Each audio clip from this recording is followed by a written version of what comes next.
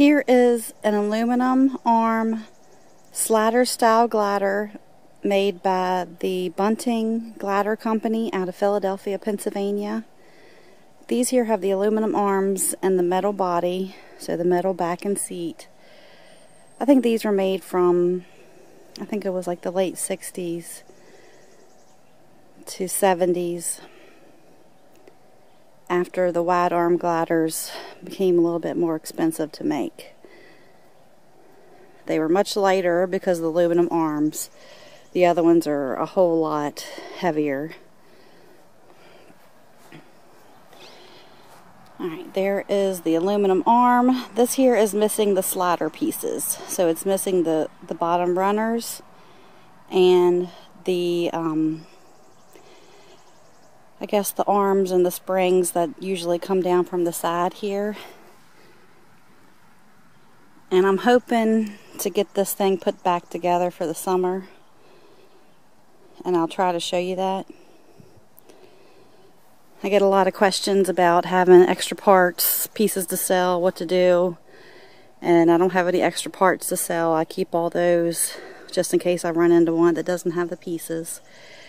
And um, there are springs that can come down off the sides.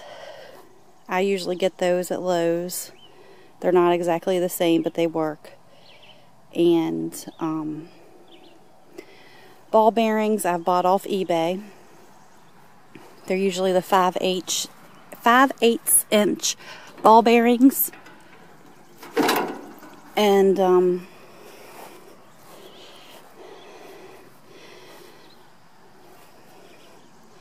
they have like um, they go into the metal ball bearing holders which are slightly different for each one and really, if you don't have a metal ball bearing holder or any of those pieces, you can just try to stick the ball bearings in the runners and see if it'll glide that way.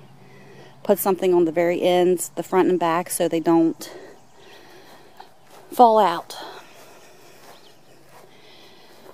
Alright, I got this from my aunt and uncle from their farm. They have had it up in a falling down shed on their property about two years ago. My uncle said I could have it if I uh, pulled it out. I didn't get it out that year,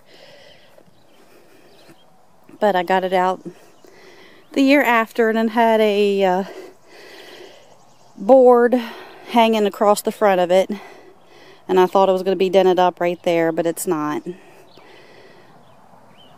Um, it is dented up on the ends on each side. And to me, the arms look like they're reproductions, but they might not actually be. I just never have had a slider or glider that looks like that.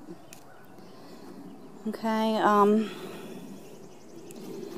let's see. The arms, well, the, the whole side leg here thing is bent. My husband said he might try to fix that. He might be able to fix it. I don't know. It's aluminum, so it probably should be able to be bent back. And um, the runners, which I don't have out here right now, they have the rubber feet on them. And I don't know where to get the rubber feet either. Sometimes I would just, you know, just recommend somebody taking a block of wood or something the same size and put it on, on all four corners. I've never taken a glider apart. But um, like there, that arm is connected by, what is that, a, um, I'm not sure what that is actually called. It's not a U-bolt. I don't know. A hook and eye? I'm not sure. I can't remember. But, um, that's how they connect the arm, the arms to this metal base. Let me throw this over. Whoa, okay. And then there's a piece of bar, something hooked to the other part there. And then another one of those, um, or two other one of those things. I can't remember. Same thing for that side. So look for my next video if I get around to it. Of uh, the parts that you actually need. And um, hopefully how to stick this thing back together and some other ideas that I have. Alrighty, yep, an aluminum arm slider because it slides on ball bearings. Slider style glider made by the Bunting Glider Company out of Philadelphia, Pennsylvania. Thank you.